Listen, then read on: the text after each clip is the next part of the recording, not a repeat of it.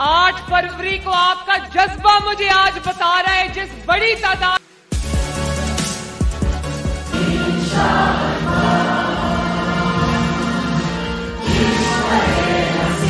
made in Pakistan